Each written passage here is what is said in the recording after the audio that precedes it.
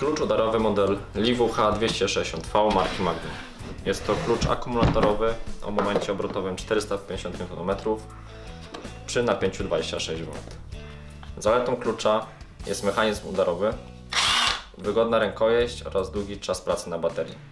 Klucz posiada regulację obrotów prawo-lewo oraz regulację prędkości. W zestawie znajdziemy zapasową baterię oraz ładowarkę.